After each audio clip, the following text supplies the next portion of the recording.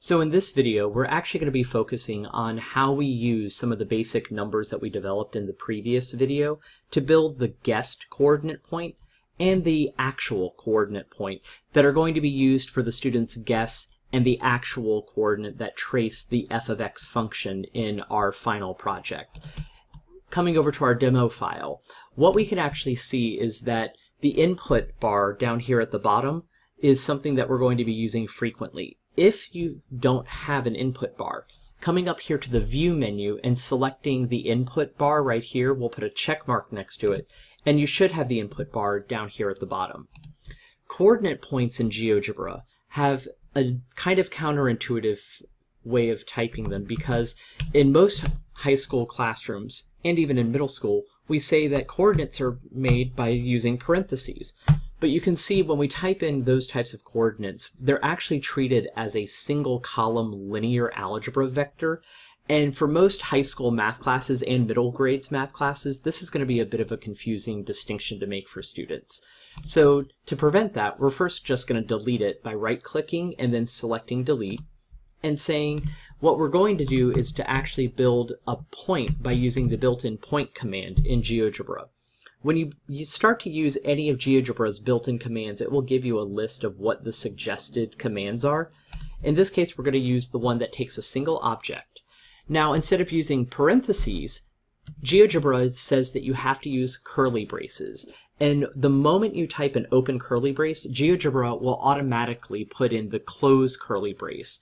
And we can actually say that if we want to have the coordinate 3, 5, if we hit enter, we can see that guess now is actually located right here at 3, 5.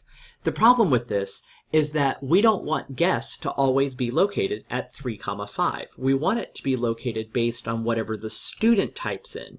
Well, the student is going to type in the guess value, and it's always going to be located at wherever the x value is. So to fix this, rather than retyping all of that, what you can do is just press the up arrow while your cursor is inside of the input bar and you can see a history of everything that's been typed in.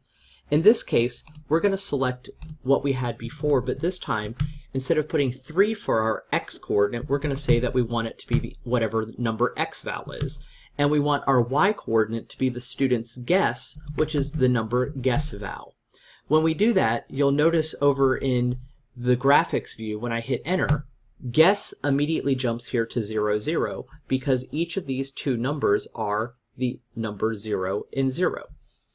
You can see that if I change my guess val to be a different number, say 6, and making sure that I say val, guess val, that guess value will jump, or the guess point will jump from 0 to 6 right here, and it still stays at the same x val.